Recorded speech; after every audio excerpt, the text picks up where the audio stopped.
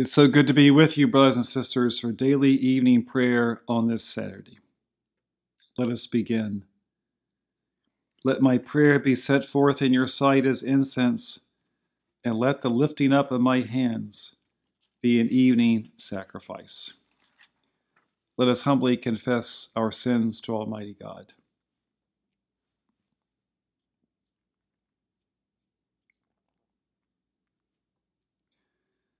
And now we confess together. Almighty and most merciful Father, we have erred and strayed from your ways like lost sheep. We have followed too much the devices and desires of our own hearts. We have offended against your holy laws. We have left undone those things which we ought to have done, and we have done those things which we ought not to have done. And apart from your grace, there is no health in us. O Lord, have mercy upon us. Spare all those who confess their faults. Restore all those who are penitent, according to your promises declared to all people in Christ Jesus our Lord. And grant, most merciful Father, for his sake, that we may now live a godly, righteous, and sober life, to the glory of your holy name. Amen. The Almighty and merciful Lord grant you absolution and remission of all your sins true repentance, amendment of life, and the grace and consolation of His Holy Spirit. Amen. We continue with the invitatory. O Lord, open our lips. O God, make speed to save us.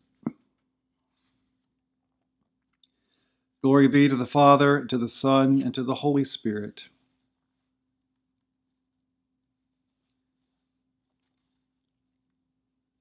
Praise the Lord. Together, the Phos Hilaron. O gladsome light, pure brightness of the ever living Father in heaven. O Jesus Christ, holy and blessed. Now, as we come to the setting of the sun, and our eyes behold the vesper light, we sing your praises, O God, Father, Son, and Holy Spirit. You are worthy at all times to be praised by happy voices O Son of God, O Giver of life, and to be glorified through all the worlds. Amen. I invite you to pause at this point and reflect upon the readings for the scriptures for this Saturday. The word of the Lord. Together, let us pray the song of Simeon. Lord, now let your servant depart in peace, according to your word.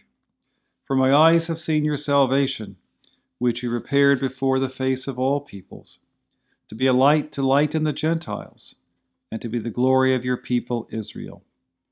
Glory be to the Father, and to the Son, and to the Holy Spirit, as it was in the beginning, is now, and ever shall be, world without end. Amen. Now let us reaffirm our faith in the Lord through the Apostles' Creed. I believe in God, the Father Almighty, creator of heaven and earth. I believe in Jesus Christ, his only Son, our Lord. He was conceived by the Holy Spirit and born of the Virgin Mary. He suffered under Pontius Pilate, was crucified, died, and was buried. He descended to the dead. On the third day he rose again. He ascended into heaven and is seated at the right hand of the Father. He will come again to judge the living and the dead. I believe in the Holy Spirit, the Holy Catholic Church, the communion of saints, the forgiveness of sins, the resurrection of the body, and the life everlasting. Amen. The Lord be with you.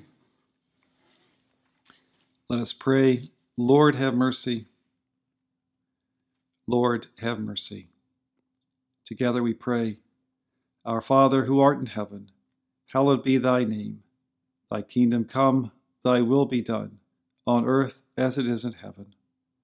Give us this day our daily bread, and forgive us our trespasses as we forgive those who trespass against us. And lead us not into temptation, but deliver us from the evil one. For thine is the kingdom, the power, and the glory, forever and ever. Amen that this evening may be holy, good, and peaceful. that your holy angels may lead us in paths of peace and goodwill, that we may be pardoned and forgiven for our sins and offenses, that there may be peace in your church and in the whole world, that we may depart this life in your faith and fear, and not be condemned before the great judgment seat of Christ that we may be bound together by your Holy Spirit in the communion of all your saints, entrusting one another and all our life to Christ. Let us join together in the Collect for Saturday, a prayer for the eve of worship. O God, the source of eternal light, shed forth your unending day upon us who watch for you, that our lips may praise you, our lives may bless you and our worship on the morrow give you glory. Through Jesus Christ our Lord. Amen. And a prayer for mission. O God, you manifest in your servants the signs of your presence. Send forth upon us the Spirit of love, that in companionship with one another your abounding grace may increase among us. Through Jesus Christ our Lord. Amen. Let us pause for a few moments that we may lift our personal petitions of praise and concern to our Lord.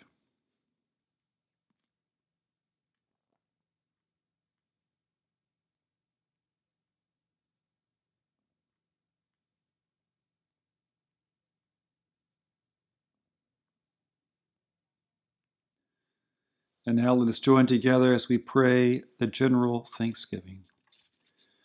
Almighty God, Father of all mercies, we, your unworthy servants, give you humble thanks for all your goodness and loving kindness to us and to all whom you have made. We bless you for our creation, preservation, and all the blessings of this life, but above all for your immeasurable love and the redemption of the world by our Lord Jesus Christ, for the means of grace and for the hope of glory. And we pray, give us such an awareness of your mercies that with truly thankful hearts we may show forth your praise, not only with our lips, but in our lives, by giving up ourselves to your service, and by walking before you in holiness and righteousness all our days.